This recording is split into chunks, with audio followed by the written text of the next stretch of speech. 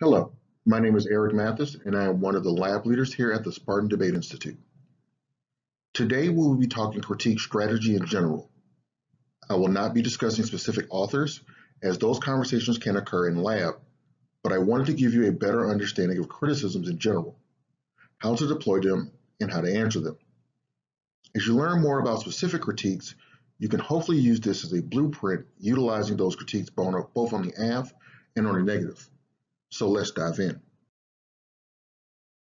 First, let's start with the definition. A critique, in my opinion, is an argument that criticizes the assumptions, methods, and or values that make an affirmative appear desirable. When I say desirable, I mean what makes the affirmative attractive to judges and debaters to make them want to vote for it and research it.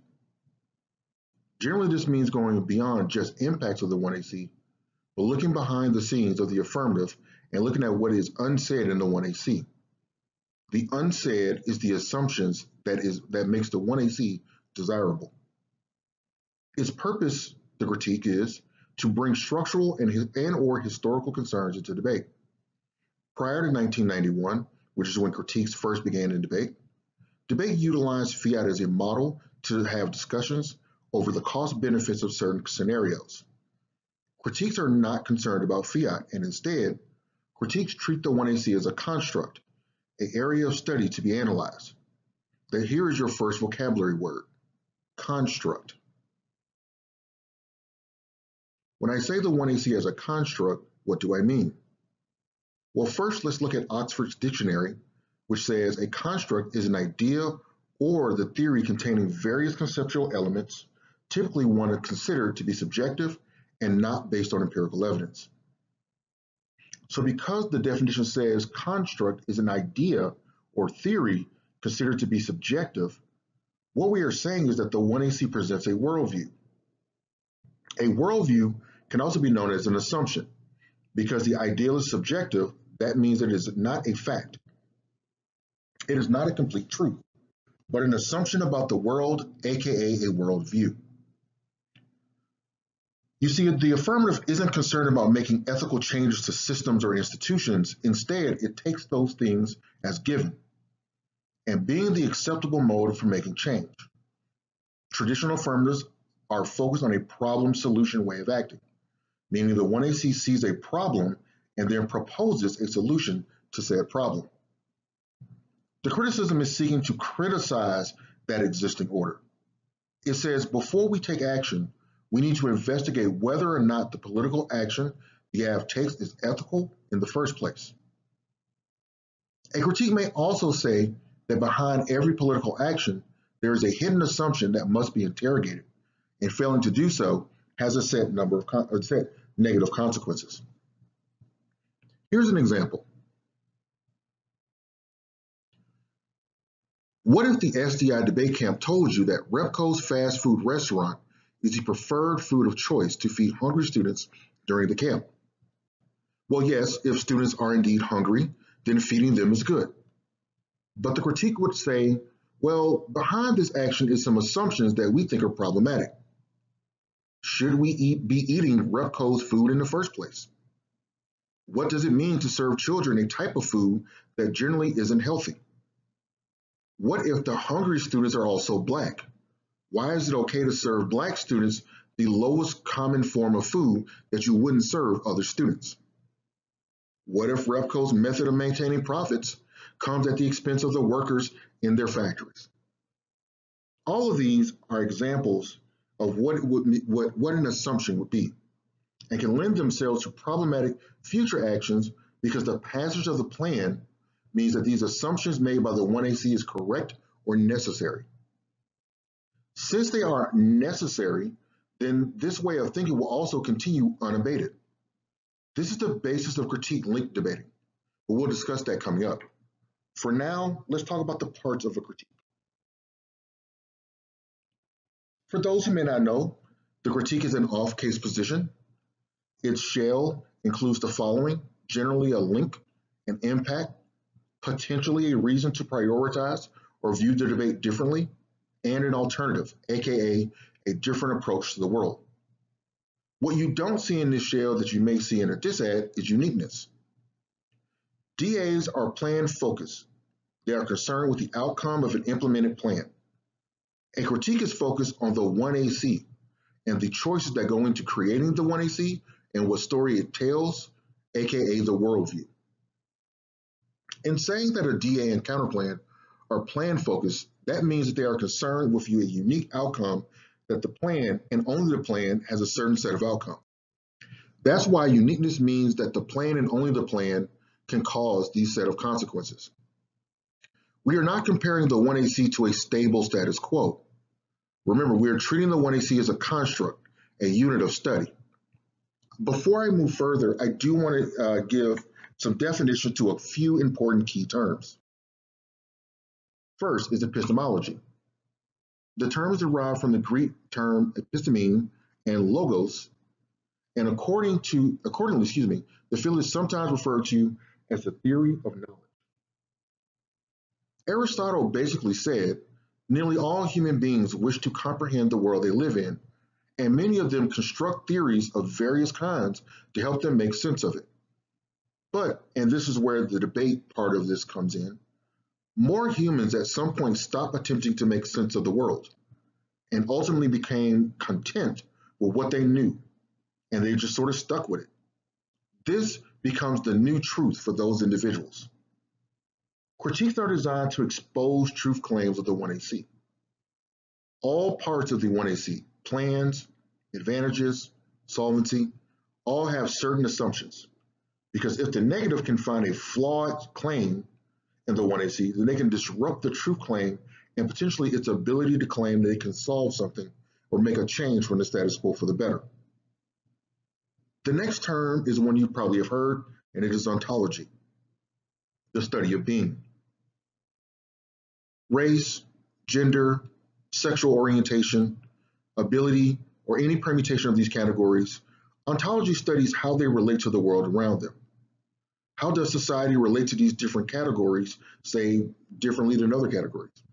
How do Black people relate to policing as opposed to white people? These are questions of ontology, and in debate, we seek to challenge these ontologies or expose how affirmatives ignore these ontological relationships. Now, if you need a bit of a five minute break, please take one now, because our next session is about section is about the importance of each part of the criticism. Welcome back. Let's start with links. Links here are different than say links on a dis ad. DA links are cause and effect. A equals B, B equals C, etc. The plan causes a change to some sort of event generally found in, in, the, uni in the uniqueness debate. X bill will pass now, but the plan causes that bill not to pass. Critique links are examples of choices that the 1AC has made. And we talked about this earlier examples of assumptions the 1AC has made. Remember, we are criticizing the values of the 1AC. Our link arguments are example of where those assumptions and choices show up in the 1AC. Why does critiques use assumptions? Why do critiques, excuse me, use assumptions? The answer is because all things make assumptions. The Camp aff you will learn and potentially research a new aff makes assumptions about the world because people have come to a place where they construct certain ideals and assumptions to help them establish the world around them.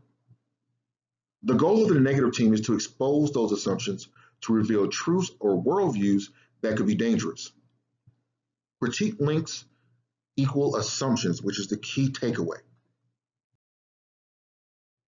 Now, how do we use links in debate? The 1AC will make an assumption about, let's say, water policy and its relationship with the issue of the critique, whether it be set col, anti-blackness, capitalism, etc. The link may say that water reform policies invest in a capitalist form of control over environmental resources, and this is a assumption that is a flawed way to understand the world.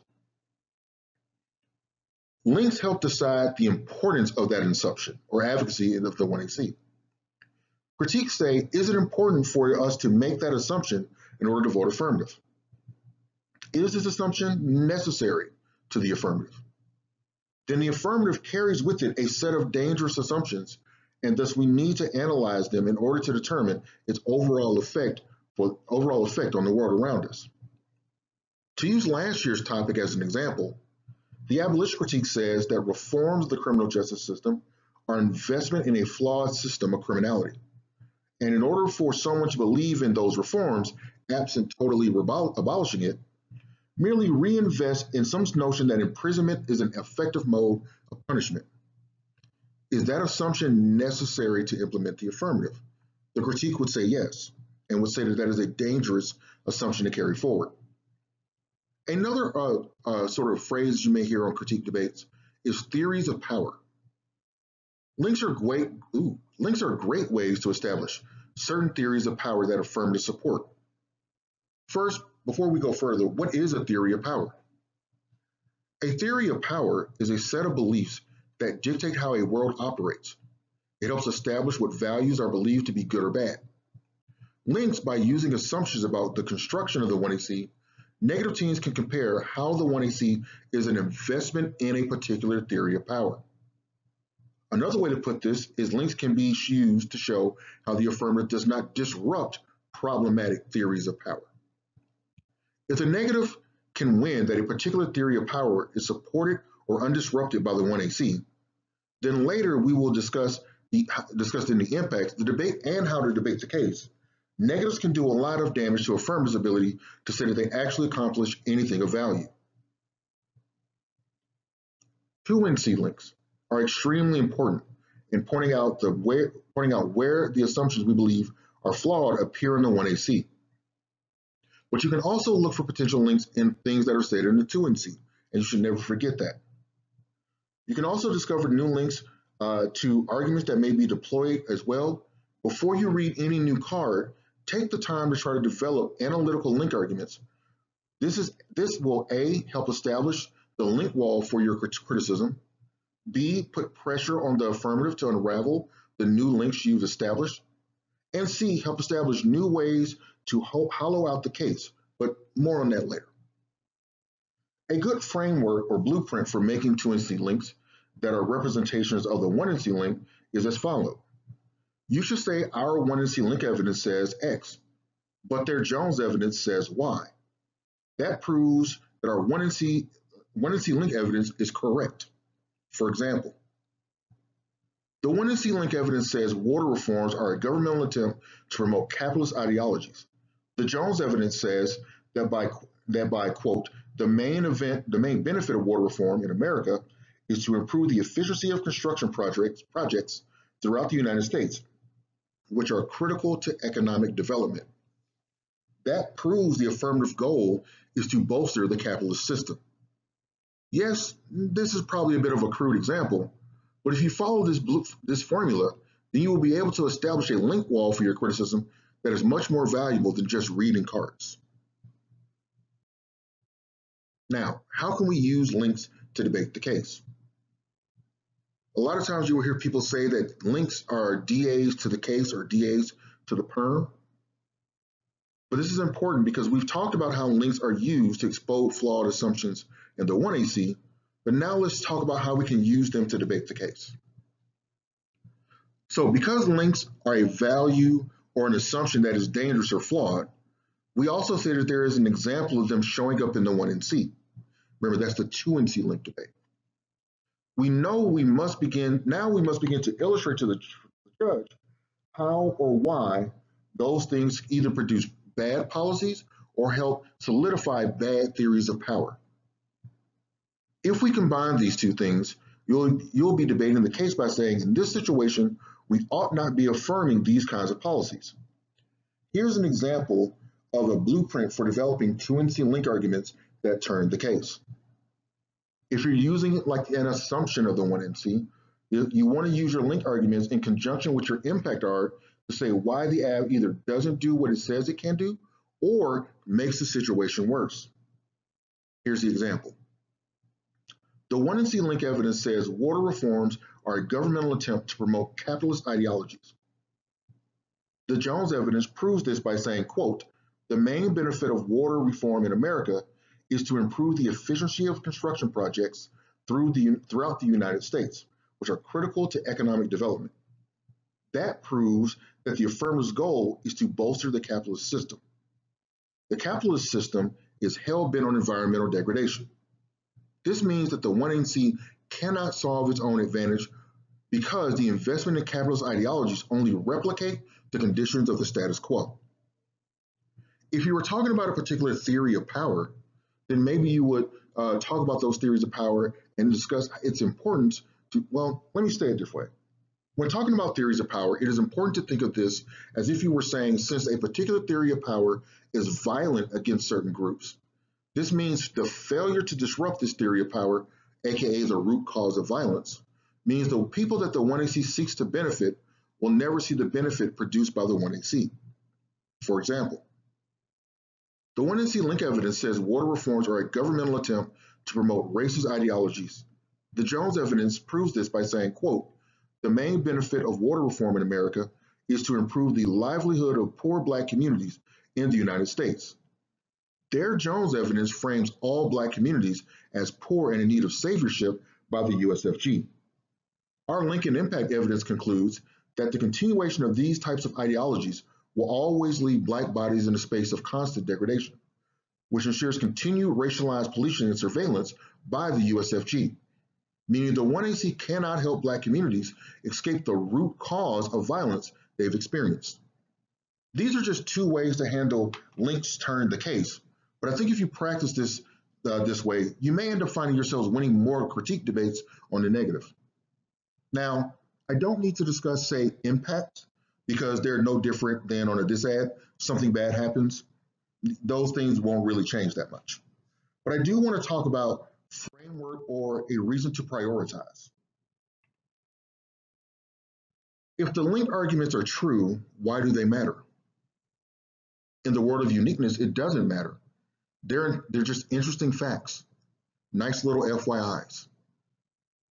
Framework explains why link matter, why the links matter, excuse me. Uh, it brings into debate a different set of considerations for how we should judge the debate. These all have different names, but they sort of function the same. Let's take prior issue. You may have heard this in a debate before. Prior issue is the problems, the problems, assumptions, and assumptions need to be addressed before other things are considered.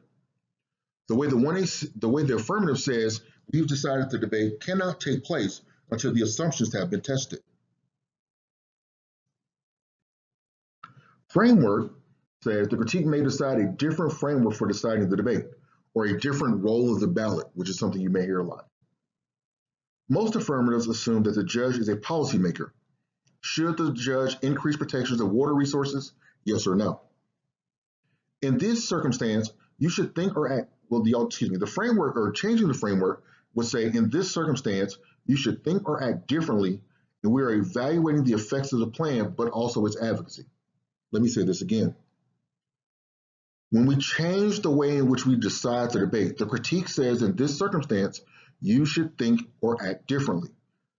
We should evaluate the not only the effects of the plan, but its advocacy. When I say advocacy, I'm referring to the values that we discussed earlier when it came to the links. So what does it mean to endorse the 1AC? Basically, should we either not endorse the outcome of the 1AC or in order for us to support the 1AC, we'd have to consider endorsing some sort of unethical act along with it. Here's an example that relates to this year's topic. The plan may say that we should increase protection of water resources in the United States, or it will ask the question, should we increase protection of water resources in the United States? The negative could say, we shouldn't even consider the benefits protecting water resources because we are asking the wrong question. The question we should be asking is why do black and brown communities, hence the alternative you see is shifting the discussion away from the 1AC to a different point of the debate by saying that the question answered by the 1AC is the wrong question to be answered. And that by using the links, they can establish why the aff is potentially unethical or of no benefit at all. Think of it this way. If poor black communities are suffering at the hands of lack of protection of water resources, a criticism may just simply say, we should be asking a prior question, which is why do black and brown communities always find themselves in a space of degradation as opposed to white communities?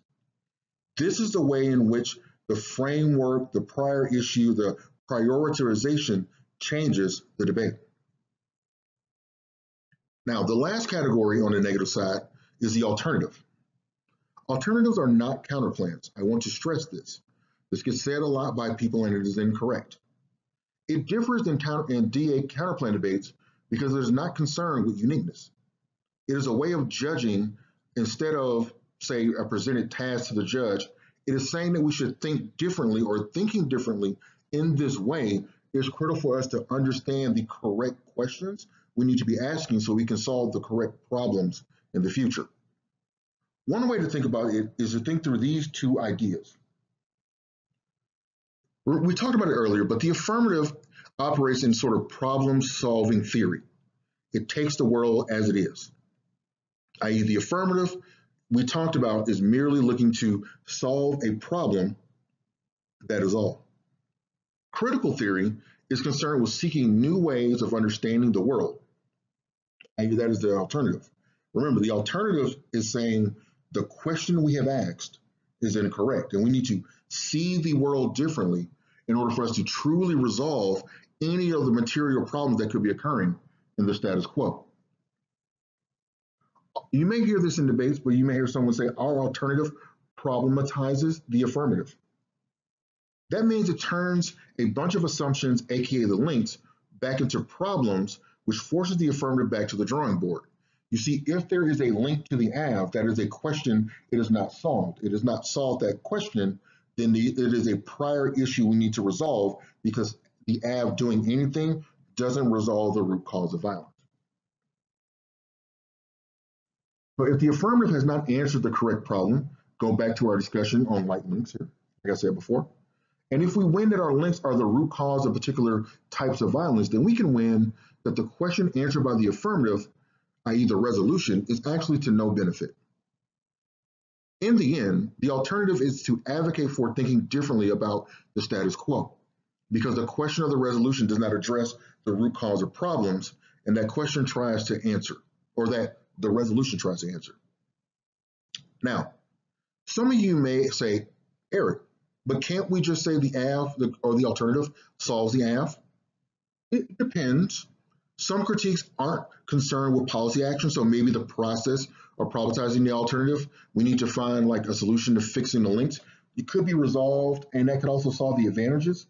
But you will want to say that we would solve the root cause of why the advantages are occurring in the first place, or the harms of the one AC is occurring in the first place. So when we say that we solve the aff, we do not do the plan, but we saw the advantages. Okay? And that's an important point to make. Again, uh, this is a good time to take a five to 10 minute break. I uh, really appreciate you hanging in there with me. Uh, the next thing we're going to discuss uh, is answering critiques and how you should approach uh, certain types of critiques. Welcome back. So let's talk about how to answer critiques. Before writing your 2AC, the most important question you should ask is, is the alt, is this an alt where I will go for the permutation or is this an alt where I will be going for the alt doesn't solve? You can do both in a 2AC, but you should only do one in the 2AR. One way you can think, one way you can, uh, you can't, one way you should know that you can't go for the perm is if the critique is an utter rejection of political action and you don't have great answers to the inevitable DA links to the permutation. If you don't have great answers to their links to the permutation, then you need to go for the alt doesn't solve. Some, some may wonder if you can win at the AF outweighs the critique, uh, outweighs the critique, excuse me. Uh, the answer is yes, but it's a little tricky. You need to win that the AF does something good and that the and that the critique cannot. I'm sorry. Let me say it again. You need to win that the aff does something good and that that good thing cannot be resolved by the alternative. That plus winning some level of link defense and framework would be the way to go to win that sort of debate. There are a set of cross-X questions too you should also ask. Before even like sitting down or being ready to like read your pre-prepared blocks, you want to ask the following four questions. One, can the alternative solve the AF? If they say yes, then this will probably mean you need to read a theory argument called floating PIKs. Two, if you are confused by the critique, Ask for the link arguments, and it's okay to be confused. Even the best judges sometimes, when they're listening to critiques, may not understand what the team is saying. And if the team can't explain what the link is, most judges are going to be very, very skeptical voting for that criticism. Ask what does the alternative do, advocate for, or say. Whatever they say, make sure that you understand what it does and try as hard as possible to figure it out. Whatever, yeah, yeah, sorry. Four, ask if we win, your authors agree with us, do we win the debate? If no, why not? There are some criticisms out there that actually have cards that advocate for various forms of political action. If we win that your authors conclude with us, is there any real reason to vote not vote for us on the criticism? Try to get a lot of these block answers flushed out so it helps the 1ARs begin to write their answers to potential block arguments that will be coming uh, later in the debate. Now, let's go over the typical 2AC versus criticisms. The first argument you should always make is framework. Because most negatives are more than happy to wish away any benefit the affirmative may have, it is imperative that you keep the affirmative alive. The neg says fiat is illusory, and you should stay sure, but that fiat is necessary to have a productive conversation over the cost benefits of an action, aka it is key to clash. Yes, we know fiat is illusory, but that doesn't mean that we cannot test the ideals presented in the 1AC. Most framework arguments boil down to weigh the aff. And since framework arguments are a means to evaluate which impacts matter more in debate, this is generally the best middle ground for affirmative teams. Weigh the aff essentially says we get to defend ourselves and don't wish away our impacts. Before I move on further and talk about other parts, I want to talk about defending your research. This has become a very, very important part of debate, I would say, over the last few years. And I think it's important that we understand how we need to answer these arguments before moving forward. Now, now the way now a way that a K team uses their critique against you is instead of critiquing, say, the 1AC, they may critique the research practices you've used to create the 1AC. Some people call this a framework K or a research K. Um, I'm not really sure what the correct definition is, so don't don't yell at me if you're like, I think it's a framework K. This is generally done, uh, or sorry, this uh, critique is generally done by saying that the research you produce or incentivize is dangerous or unethical. To counter this, you should do the following things on top of saying framework weigh our aff is key to clash. Number one, have, oh, excuse me, affirmers should give some thought about how they research and why it is good and is important to focus on legal reform. You can learn, uh, sorry, you can learn about these things. Sorry, let me say it different. I apologize. You should say that learning about these things make us better advocates for future change.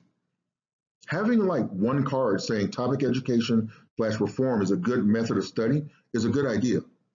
This helps establish a philosophical reason for why voting for the AF is good.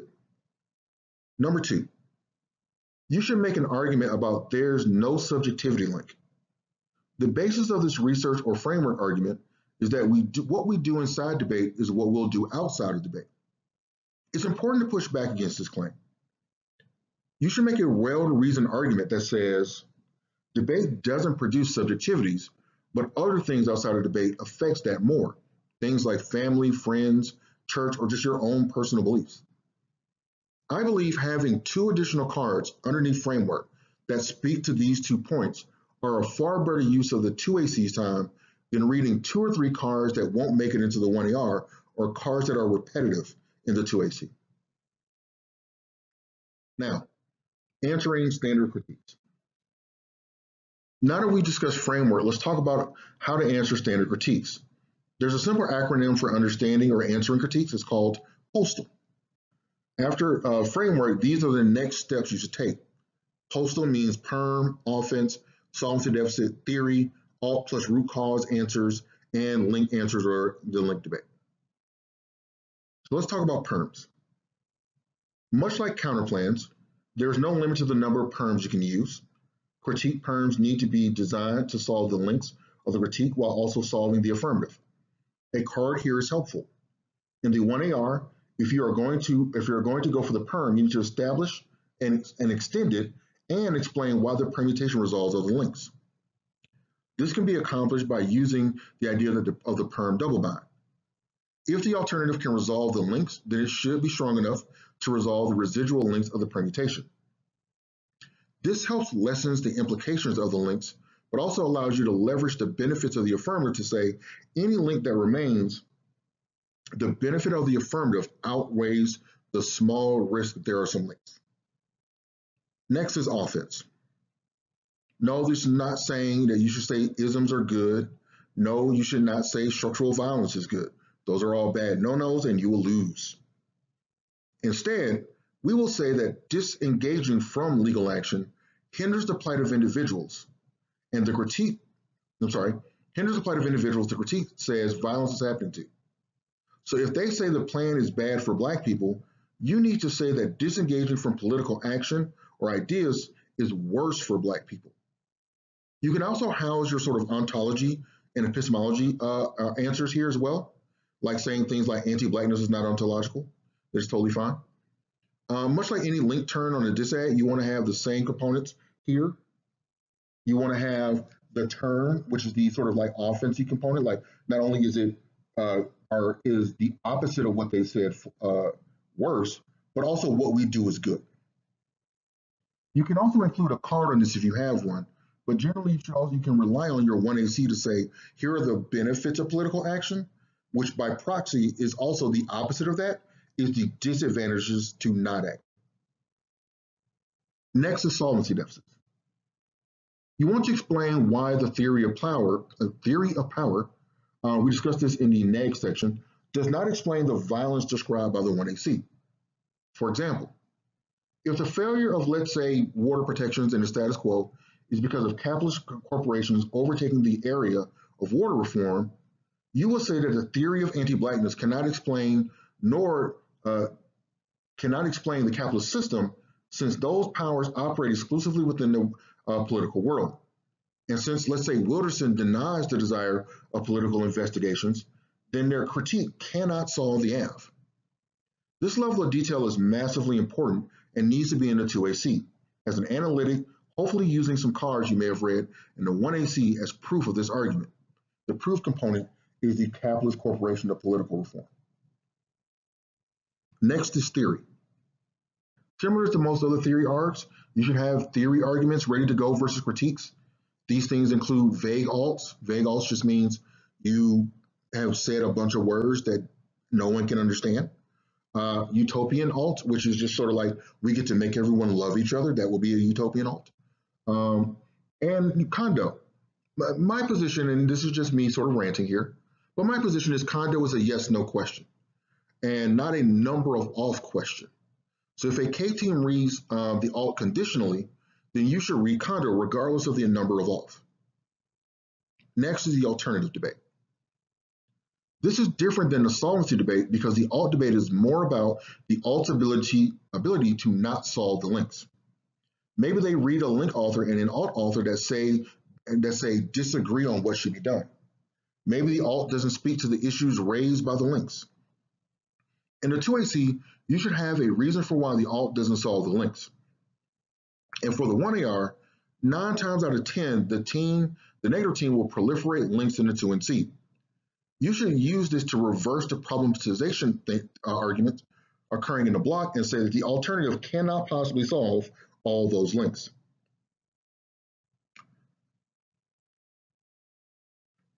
Maybe they say a bunch of reasons for why material changes haven't been done, but if the alternative, for example, is not engaged or doesn't want to engage in material actions, i.e. political actions, then it can't solve that link either because it did not engage in the political uh, actions necessary to resolve the links. These are all examples, but generally this is sort of the way in which all answers or all debates generally can go. By the way, have impact defense to whatever their terminal impact is. Like for example, if they recap and they say environmental degradation, you want to say there's no impact to environmental degradation. A very, very important tool to have. You should also have uh, no root cause in your uh, in your answers as well, because you don't want to concede that their theory of power or the link debate is the root cause of violence. Having a card or a couple of cards maybe that say no root cause of violence means that their theory or their link arguments can't explain the world and why violence happens no more than say maybe the alternative or the aff or anything else does. But saying that there is no root cause um, uh, reason for why violence occurs helps play defense against these kind of arguments. Let's talk about the, answering the links. Winning no link to some degree is necessary if you want to win the permutation. No link is, is more than no, we don't say racist things and or we don't support neolib, but more importantly that the assumptions the negative have made are not only incorrect, but prove the alt can't solve. Uh, here's an example from a few years ago. Um, I wrote an affirmative about building dams in Africa on a topic long, long time ago. The 1AC says that the world says that the world is anti-black and that the 1AC is an investment in that world. The affirmative goes, no, no, no. The status quo is actually in the context of neoliberalism, and currently it excludes Africans from participating in neoliberal markets. That is a replication of true racism or a truer form of racism that Africans experience. But because your criticism denies the possibility of the have and it doesn't interrogate capitalism, it cannot explain the violence that is going on and therefore cannot resolve the violence that is going on. After you do those couple that that couple that load that excuse me that level of work, you can then house your specific answers for like links uh, to critiques. Last but not least, I want to talk about critiques that confuse us all. Uh, sometimes you may hear critiques that don't make a lot of sense, and I apologize if someone gets offended because I said that a critique may not make sense. But this is sort of a crude way of saying that these are critiques that have several moving parts, and the team isn't clear about the purpose uh, or has random links uh, all over the place that can generally mutate into something brand new. There are seven things you want to do in order to prepare yourselves to, do, to be ready to debate these critiques. Number one, spend as much time as possible getting to them, getting them to explain the links and what the alt does. Remember the cross-ex section from earlier. If there are multiple link cards, spend time asking how the alt solves all the links, and then craft your permutation uh, answers or your permutation of aff, permutation of do the aff plus all the words they said that solve the links generally put you in a good position to win most permutation debates. Number two, it's okay to use prep time to ask questions. You can recover, you can recover from limited prep time, but you cannot recover from a bad 2AC. So use the prep. Three, never forget the aff is good. Remember, don't let them wish away the affirmative. The aff is good, the aff is important. Four, don't forget about postal. What I probably would do is have a block ready to go that's like answers to critiques we don't understand. And I would have like, you know, subheadings for each component of Postal to make sure I have like cards and analytics ready to go for my given affirmative. Five, use their vagueness to justify newer answers in the 1AR. If they are intentionally being vague about, say, you know, about the critique, you should say, if you continue not to answer our questions, we're going to use this as a reason to make new answers in the rebuttals. This kind of threat generally is accepted by judges, and judges are okay granting newer args, especially if to critique morphs into something completely different than it was in the 1NC. Six, keep theory alive in the later speeches. Generally, even if it's for a time suck, forcing the negative to have to spend time answering the various theory arguments means that they can they can they have less time to recreate or remorph whatever this critique is talking about. Seven, look for clues about the critique um, in the 1NC. Do they say the phrase research that lets you know that the framework or research case is coming? Do they say um, ontology? Then you know that the ontology answers or your, your normal block to ontology is necessary. This is a very sort of like condensed uh, version of sort of answer those critiques, and I'm sure you'll learn more about them in your lab. But hopefully you've uh, enjoyed our time together, and I appreciate you listening. Welcome to the SDI, and we'll talk to you soon.